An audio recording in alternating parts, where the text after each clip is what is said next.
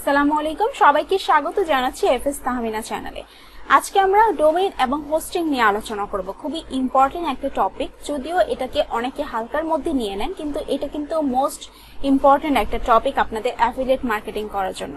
Affiliate marketing এর জন্য আমরা প্রোডাক্ট নিয়ে অনেক ব্যস্ত হয়ে যাই, কোন প্রোডাক্ট নিব, কোনটা নিব না, কোথায় সেল করব, কীভাবে সেল করব কন্টেন্ট কীভাবে লিখব, ঠিক আছে, সবকিছু দরকার আছে, কিন্তু আমাদের যে মেইন অস্ত্র, অর্থাৎ যদি আমরা চাই যে হ্যাঁ আমাদের এই বিজনেসটা একটা লং লাস্টিং হোক, তাহলে আমাদের অবশ্যই একটা ওয়েবসাইটের প্রয়োজন আছে এবং সেই ওয়েবসাইটের জন্য কিন্তু ডোমেন এবং হোস্টিং দরকার আছে। এখন অনেকে কনফিউজড হয়ে যান যে আমি ডোমেন নেমটা কীভাবে চুজ করব, কোন নেমটা নিলে বেশি ভালো হবে হোস্টিং থেকে নিব? তো এই সব কিছুর একটা সলিউশন পাবেন আজকের ভিডিওতে, ইনশাআল্লাহ।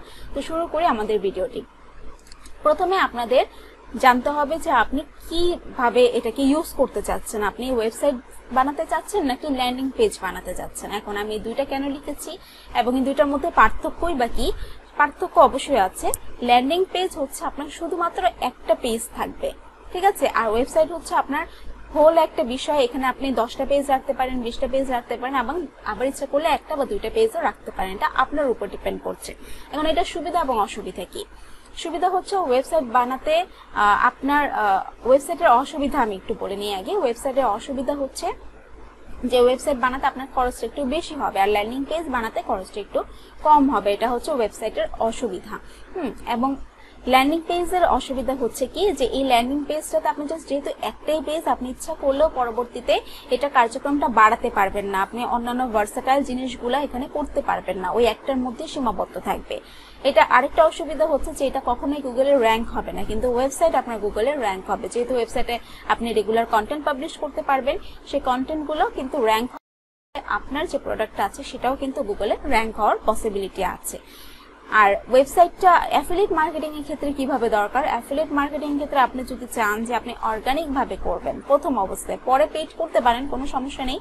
কিন্তু প্রথম অবস্থায় আপনি অর্গানিক ভাবে করবেন, পরে একটা মজবুত, একটা সিস্টেম ইউজ করবেন, তাহলে ওয়েবসাইট আপনার জন্য বেস্ট একটা অপশন আর আপনি যদি চান যে না, আমার হচ্ছে অর্গানিক ভাবে করার কোনো দরকার নেই, আমার সময় কম, কিন্তু আমার বাজেট আছে, আপনি পেইড ক্যাম্পেইন করতে পারেন, তাহলে আপনার ল্যান্ডিং পেজটা বেস্ট হবে।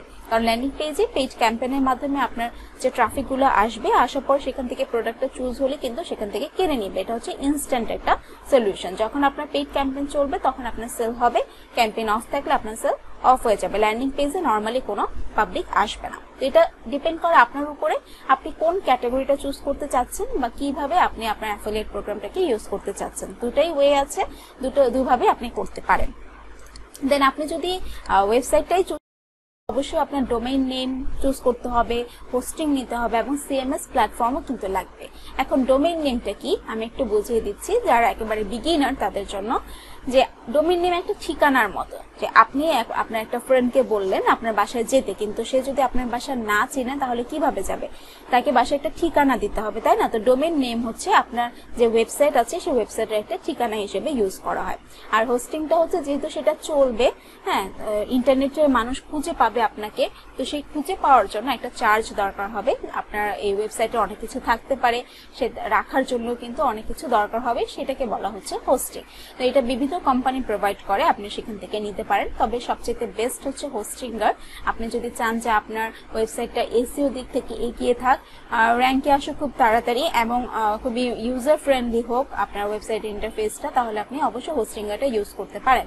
আমি ডিসক্রিপশনে সেটা লিঙ্ক দিয়ে দিব, আপনি এখান থেকে কম টাকা কিন্তু সেটা নিয়ে নিতে পারবেন। ওকে আর ডোমেন নেমের বেলায় আমি যেটা বলব, অবশ্যই আপনাকে ডট কম ডোমেন নিতে হবে। যদি আপনি ডট নেট বা অন্য ডোমেন নেন তাহলেও হবে, কিন্তু ডট কমটা একটু বেশি প্রেফারেবল থাকে। চেষ্টা করবেন যে ডট কমে যাতে হয়।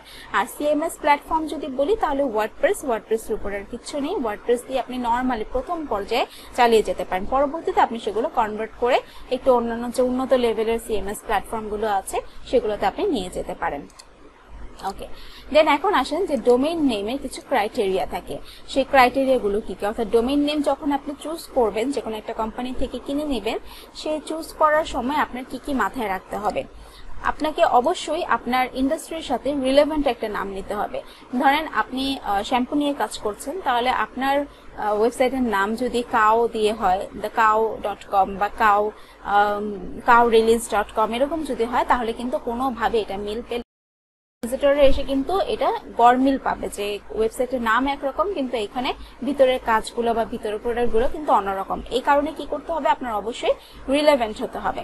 আর ইজি বলতে আপনার ডোমেইনের যে নেমটা আছে, সেটা প্রোনাউন্সিয়েশনটা ইজি হতে হবে, যাতে উচ্চারণ করতেও ইজি হয় এবং এটা বানানটা লিখতেও ইজি হয়। কারণ দুই একটা যদি লেটারে একটু প্রবলেম হয়, তাহলে কিন্তু ফুল ওয়েবসাইটটাই আসবে না।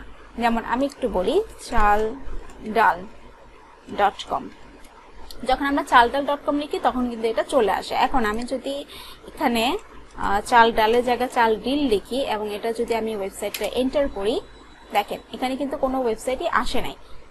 আমার জাস্ট একটা ভুল। এর জায়গায় আমি যদি ডি আই দিয়ে দিই, তাহলে কিন্তু আমার ওয়েবসাইটটা আসছে না। আর যদি সঠিক নামটা দিই, তাহলে কিন্তু ওয়েবসাইটটা চলে আসছে। তো বুঝতেই পারছেন যে এই যে ডোমেইন নেম এইটার গুরুত্ব কতটুকু? তো এটার নামগুলো স্পেলিংগুলো যাতে সুন্দরভাবে হয় প্রোনাউন্সিয়েশন যাতে সুন্দরভাবে করতে পারে, ওই হিসেবে আপনি এটা কিনে নেবেন। আর হোস্টিং এর কথা তো বললাম হোস্টিং এর চাইতে ভালো হোস্টিং হতে পারে না। আপনি এছাড়াও অন্য যে কোনোটা ইউজ করতে পারেন আপ টু ইউ ওকে এখন আমরা আসি যে সিএমএস প্ল্যাটফর্মের কথা যেটা বললাম, যে আমরা যে ওয়েবসাইটটা তৈরি করব, এটা কোন প্ল্যাটফর্মে হবে? এটা অবশ্যই আপনি ওয়ার্ডপ্রেসে করবেন প্রথম অবস্থায়। এবং প্রথম অবস্থায় না, মানুষ যে খুব ভালো লেভেলে যারা কাজ করছে, তারাও কিন্তু ওয়ার্ডপ্রেস দিয়েই কাজ চালিয়ে যাচ্ছে। ইভেন পৃথিবীর যত লাইভ ওয়েবসাইট আছে, তার মধ্যে সিক্সটি এইট পার্সেন্ট ওয়েবসাইট কিন্তু ওয়ার্ডপ্রেস দিয়ে তৈরি। তাহলে বুঝতেই পারছেন যে ওয়ার্ডপ্রেস দিয়ে কাজ করেও কিন্তু মানুষ অনেক ভালো রেজাল্ট পাচ্ছে। তো এটাকে তেমন নেগলেক্ট করার কিছুই নেই। আপনার যেই কাজ প্রিমিয়াম একটা কাজ সেটা যদি আপনার করতে দশ টাকা লাগে এবং একই কাজ করতে যদি একশো টাকা লাগে, আপনি কোনটা করবেন? অবশ্যই দশ টাকাটা করবেন। তো এটা দামেও আপনার কম হবে, আপনি ফ্রি থিম দিয়ে করতে পারবেন এবং করতে ইজিও হবে। ঠিক আছে? সব দিক থেকে ম্যানেজ করাটাও ইজি হবে। করতে পারেন। ডোমেন হোস্টিং নিয়ে আর কোনো প্রবলেমই থাকবে না। দেন ডোমেন হোস্টিং এবং সুন্দর একটা প্ল্যাটফর্মে ওয়েবসাইট বানিয়ে কিন্তু আপনি কন্টেন্ট প্ল্যানিংটা করে আপনি অ্যাফিলিয়েট মার্কেটিং এর জার্নিটা শুরু করে দিতে পারবেন। তো পরে ভিডিও দেখার আমন্ত্রণ হলো। সবাই ভালো থাকবেন, সুস্থ থাকবেন। আল্লাহ হাফেজ।